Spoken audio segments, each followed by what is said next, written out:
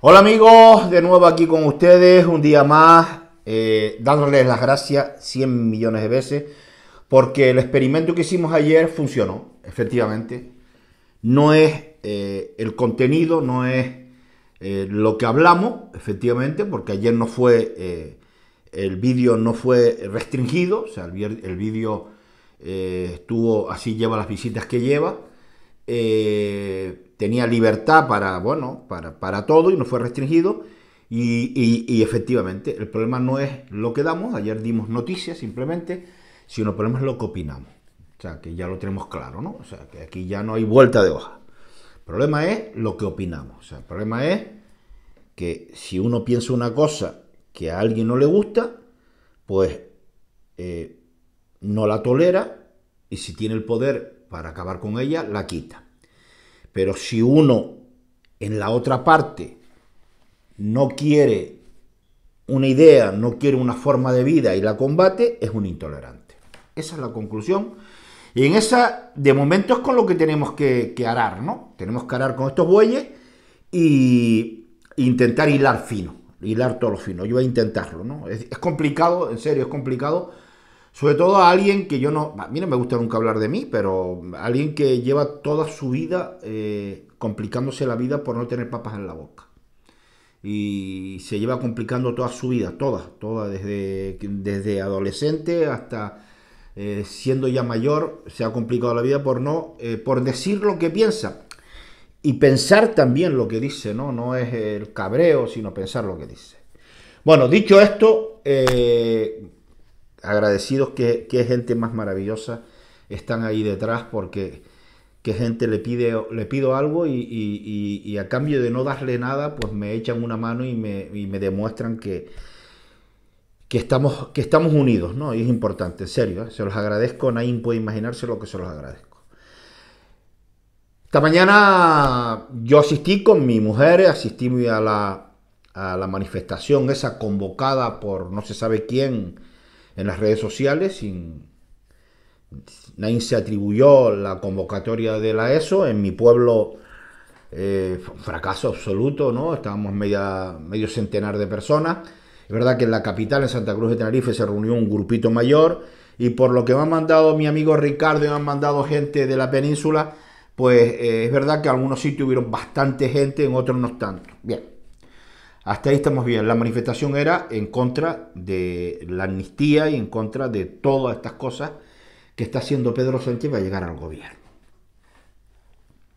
Yo estoy en contra totalmente de que alguien convoque una manifestación y no diga quién es. En contra. Voy más lejos todavía. Es un peligro.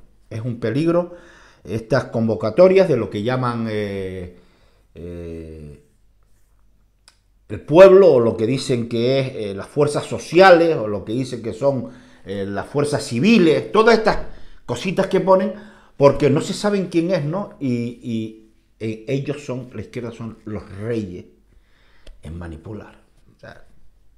si quieren, es lo que le explico muchas veces de los tecos, de eso que ocupan un espacio algunos para que no lo ocupe quien realmente defienda esa idea, porque el espacio ya está ocupado, ¿no?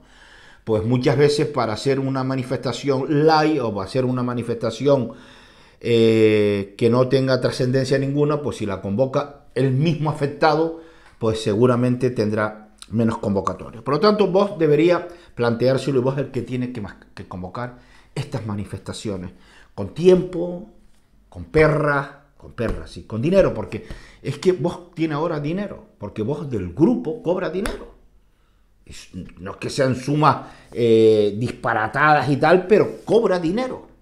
Entonces ahora dispone ya de capital, o sea, dispone porque tiene 3 millones de votos. Entonces, por ejemplo, yo les voy a poner un ejemplo rápido, ¿no? Al delegado de Vox para las Islas Canarias, que yo esas cosas no entiendo, porque tiene que haber un delegado Vox para las Islas Canarias, no sé, para la colonia sería, el delegado para la colonia, digo yo, yo no digo que sea así, y lo digo de verdad, no estoy ironizando, estoy diciendo la verdad, pero no lo entiendo. Y digo que no, creo que sea así porque, porque la gente de Vox es una gente mm, no sensata, lo siguiente, ¿no? Entonces, pero eso, un delegado de Vox y viene de Andalucía, ¿no? Y ese delegado de Vox Andalucía se le dice, cuidadito con la gente de Vox, eh, que lleva Vox en Tenerife, porque son gente, no son gente de fiar, son gente extraña, eh, se le aporta escándalos de esos personajes, sobre todo una página web que había ahí un poco, mm, poco rara, un poco extraña, digo un poco extraña para ser de Vox, para ser de Podemos, lo normal, lo natural, pero para ser de Vox era muy extraño y tal.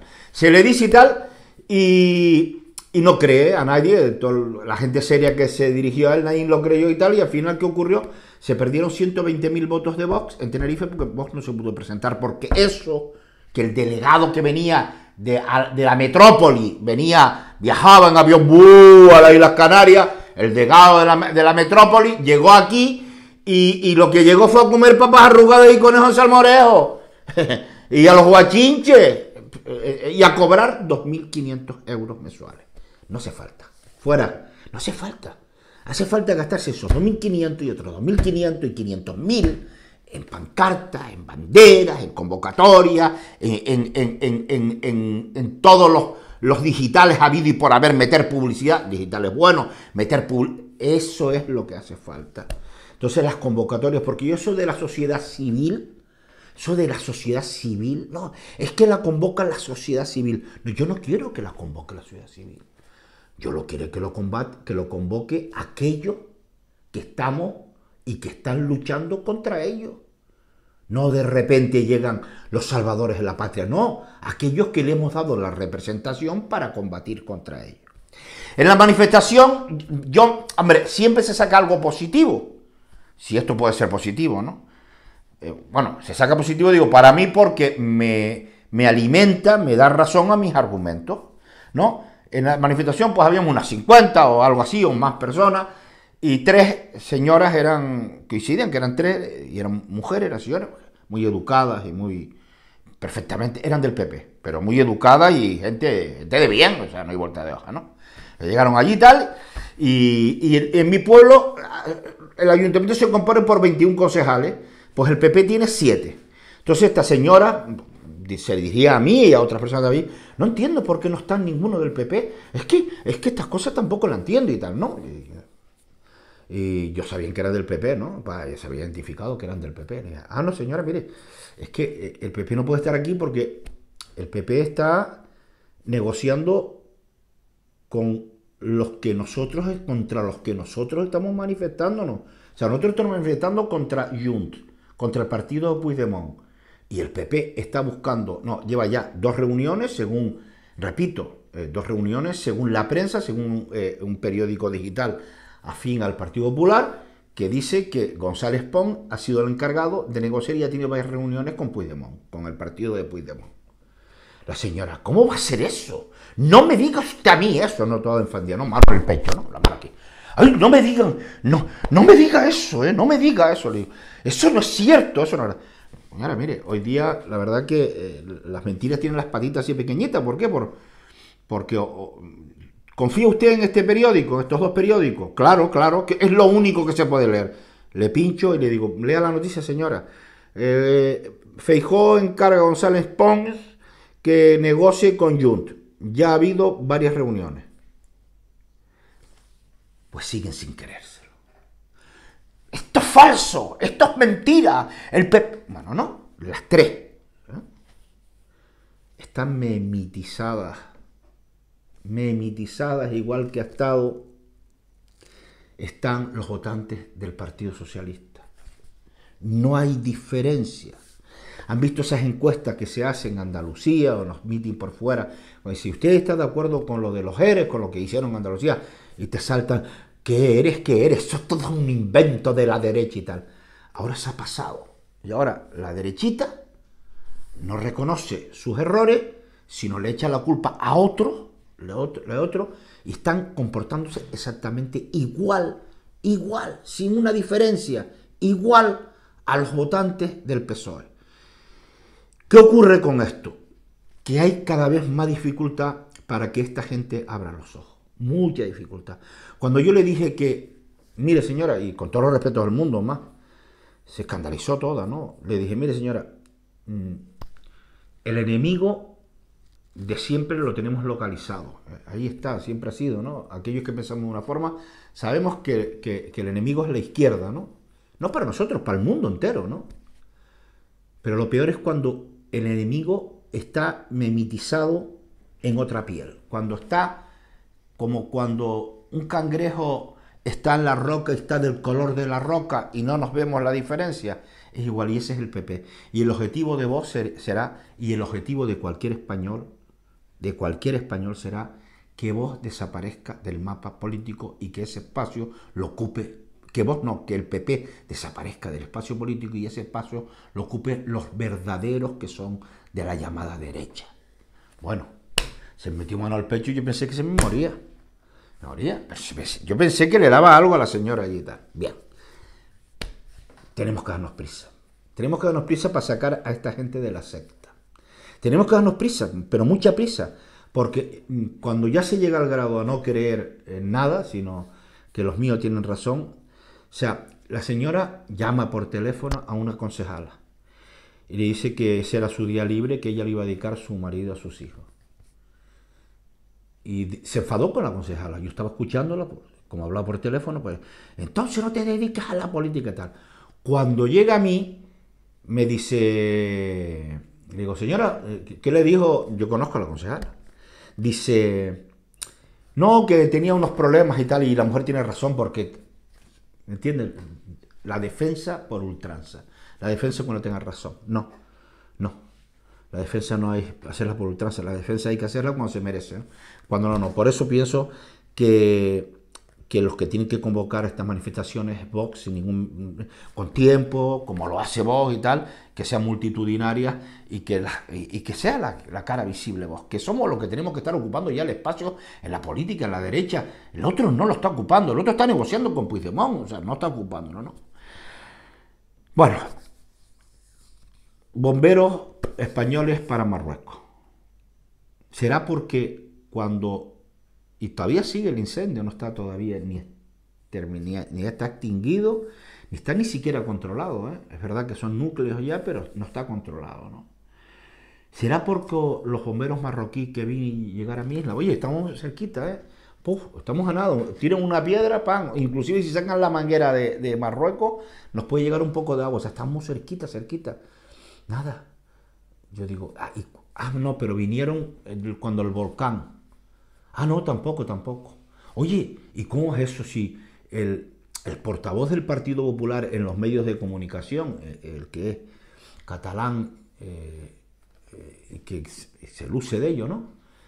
que decía que es un pueblo más culto, más preparado que el pueblo español, el marroquí. Dios, si es culto y preparado y tiene de todo, no sé por qué le mandamos nosotros bomberos. Yo estoy de acuerdo, repito, ¿eh? por, cuestión humanitaria, por cuestión de, esa gente que está desesperada. Pero eh, el hermano mm, del rey, a su hermano, eh, a su hermano, que, que es tan hermano, hermano, no le puede decir, hombre, hermano, mientras te mandamos los bomberos y te ayudamos, hermano, y te mandamos a la UME, y te mandamos los perros para buscar, por desgracia, los cadáveres o los supervivientes. Hermano, oye, no nos mandes patera. Hoy, entre anoche y hoy, han llegado 916 emigrantes a mi tierra.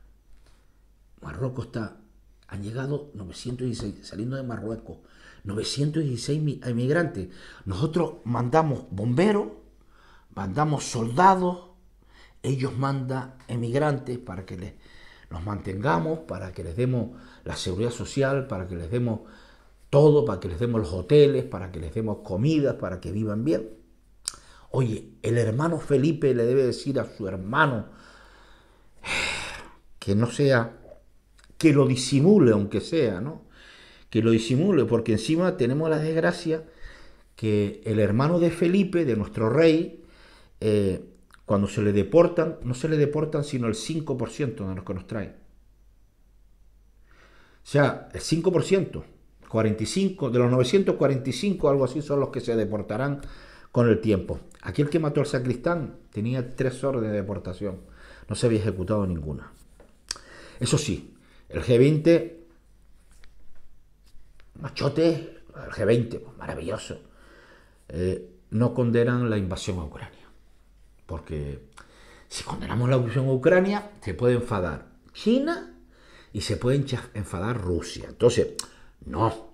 Eso sí, vamos a destinar cientos de miles de millones, han llegado al acuerdo, al cambio climático, al, planeta sostenible, eh, a la digital feminista y a cosas tan importantes como esa.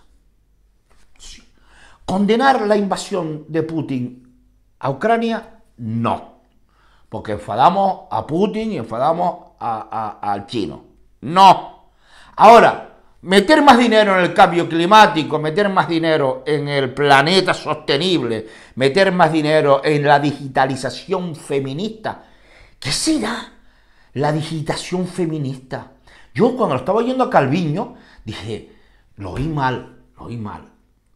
Espera, como a 24 horas es una cuestión cíclica, ¿no? O sea, 24 horas... Hay, creo que son 6.000 o 7.000 empleados pero ponen en informativo, es cíclico, o sea, lo ponen inclusive con los errores. Ah, lo espero dentro de tres minutos, lo dicen otra vez. Efectivamente, lo dijo otra vez. Era la digitalización feminista. Pues no sé. Y después salió Álvarez, se llama, el ministro del Exterior, con, eh, con el pecho hinchado. ahí yo tuve un punto de mala leche lo del pecho. ¿eh? Bueno, salió Álvarez, ¿no? Álvarez, sale Álvarez. Entonces Álvarez llega y dice, arrogándose el, éxito, arrogándoselo como éxito. No hay ningún muerto, ningún herido español, arrogándoselo, como si, eh, eh, como si él puso el paraguas de acero, ¿no? Para que ninguno de los 14 o 15 mil españoles que hay en Marruecos sufrieran arrogándose el éxito. Tienen el éxito hasta en eso en que hay un terremoto y no mata a ningún español porque está gobernando Pedro Sánchez. Pues Margarita Robles, siguiente noticia, Margarita Robles, visitando algo de la riada y todo rollo y tal, y, lo que no podemos es, eh, con el tema de Rusia, emplear la equidistancia. O sea, no importa, eh, ser equidistante, o sea, ignorar la invasión de Rusia en Ucrania, no podemos emplearla, o todos son igual de culpables, ¿no? Que es la equidistancia ya suprema. Eh, y a la siguiente pregunta que le hace de televisión española, a lo echaron a la calle, seguro, a, los, a los 10 minutos lo tienen a la calle. pregunto, bueno, y doña Margarita, ¿y usted qué opina de, del pacto con eh, Puigdemont a cambio de la amnistía y lo de la autodeterminación, el referéndum y tal? Y Margarita, 10 segundos antes había dicho lo de la equidistancia, emplea la equidistancia. No es el momento ni el lugar de, opinión, de opinar eso. No tengo los suficientes conocimientos. Esto es lo que nos gobierna. Estos son los que nos gobiernan. Y estos son los que tenemos que combatir. ¿Y por qué digo estos son todos los que tenemos que combatir? Mire, yo voy a poner, mucha gente se enfada. Yo sé que hoy me di cuenta que es una... Es que no quiero emplear la palabra porque tengo pánico, ¿no? Bueno, que es una batalla perdida, la que yo tengo. Es una batalla, no sé llegar, o sea, no puedo llegar, encima la dificultad de hablar aquí, no puedo llegar a la gente o a personas, no puedo llegar a decir lo que pienso bien. O sea, me, es dificultoso. Entonces, muchas veces es bueno poner un símil o algo así. Y yo siempre he pensado, imagínense ustedes, ¿no? una contienda donde haya dos trincheras, una trinchera allí donde están pues todos los de Podemos, los del PSOE, los de Esquerra Republicana, los de Bildu. Bildu lleva la parte del armamento, lleva todo, todo eso, digo por la experiencia, están ahí todos, todos, y en el otro lado de la trinchera, o sea, enfrente de la trinchera, ¿no? Han visto las películas de Gila o, ¿no? Hay otra trinchera y ahí está el, el, otro comando que tiene que luchar contra eso, ¿no? Todo de forma simbólica, ¿no? Estoy hablando, ¿no? para entenderlo. Todo eso ahí preparado, ¿no? Ustedes cómo disparan, ¿no? Le dice Feijóo, quiero reunirme con usted. Yo no me quiero reunir contigo, no me interesa. No, Y el PP dando, y, vos dándole la mano constantemente al PP. Bueno, la mano no, ya vos no tiene mano. Vos tienes muñones, son muñones. Le han mordido tanto la mano al PP que, que, que ya lo que le emplea son los muñones nada más. Eh, que, que, ya debería estar bien, ¿no? Ya, está bien, ¿no? Ya está bien, ya, ya está bien, hombre, ya en serio, ya está bien. Ya está bien que ustedes no representan a 3 millones, que yo no le tiendo mano más a nadie porque ya no las tengo, no tengo dedos, me lo han desaparecido, me los han comido. Ya está bien. Entonces, en el otro bando, en otro lado, está el Comando Rosa. Claro, aquellos allí armados, uf, morteros 81, misiles, bum, bum, tan, tan. Y los del Comando Rosa, con la bandera blanca puesta fija aquí, bandera blanca, y aquellos, ¡bum! La bandera, hacer, ¡pah! La destroza y tal. Entonces empiezan, dicen, ah, pues hay que defenderse. Y empiezan a tirarle goma espuma, gominola, un platanito tan, una fresita tan, el comando rosa, ¿no? El comando rosa puesto ahí, tirándole, ese es el armamento que tienen, ¿no? Ese, ese es el armamento que tienen. Entonces, ya cuando se ponen muy eso, cogen ya la manguera de, espuma, esa que hacen en las fiestas, ¡oh! y lo riega a los de... ¿Ustedes creen que eh, mm, se podrá ganar un, una contienda con, en ese estilo? No, ¿verdad que no? No, no, no. No, a eso hay que enfrentarse con las mismas armas que ellos, las mismas. Voy más lejos, con más todavía. Ustedes saben con más porque tenemos más razón, más argumento, más ideología, más formación, más todo. Tenemos más todo, hasta nos bañamos más. O sea, todo lo que te puedes lo tenemos. Entonces, no se puede luchar contra esta gente con el comando rosa. Y, se lo deben dar, y no, y no estén, no estén dejen de elogiar ya a la gente de izquierda, en serio. Lambán, Almunia, Alfonso Guerra, Paje, Felipe González han dicho que están en contra de la amnistía y le votaron.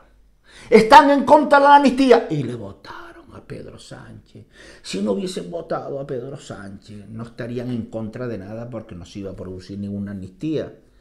Pero le votaron a Pedro Sánchez. ¿Qué, me quiere decir ahora a mí? me, quieren decir a mí que yo me voy a lucir. Yo ahora voy por la calle y voy a decir, oye, y cuando vea uno de izquierda, oye, que Felipe González y Almunia y Alfonso Guerra están en contra de amnistía. son argumentos que tenemos que emplear. Y, le dirá el de frente, sí, sí, sí, es verdad, tiene razón, pero votaron por nosotros. Votaron por nosotros. Entonces, no estemos sintiéndonos orgullosos, ¿no? Porque si nos sentimos orgullosos de eso, lo que tenemos que estar pendientes, lo que tenemos que estar atentos y lo que tenemos que estar es en la lucha. Para mí, mire, eh, tenemos que estar en la lucha, por mucho que nos lo oculte los, medios de comunicación. Han detenido un yihadista en Pamplona, tipo que tenía todos los manuales de explosivos. Ahí tenemos, así tenemos que estar atentos a eso. No es que Felipe González de ahora está en contra. Hoy sale en La Razón periódico, en portada, Feijó. Sánchez no puede negociar la dignidad de España y punto. Sánchez no puede negociar la dignidad de España. Sánchez sí, no, y tú, sí, Feijó sí. Sánchez no puede, pero tú mandas a González, a, Pon ese, lo mandas a negociar. Explícamelo. Ahí, ahí la dignidad no tiene que ver nada. Ah, ah, no, ah, porque una cosa es negociar, una cosa es hablar y otra cosa es ceder. Oye, cuando los hechos se produzcan, ¿y para qué vas a negociar? O sea, tú sabes lo que quieren. O sea, si yo me enfrento a un partido de fútbol, el equipo que está delante de mí quiere ganarme o, empatarme. Hombre, negociar a perder no va a venir el otro equipo. El otro equipo no va a... Se reúnen los capitanes y va a decir, mira, quiero perder por 7-0 nada más. No, no, no.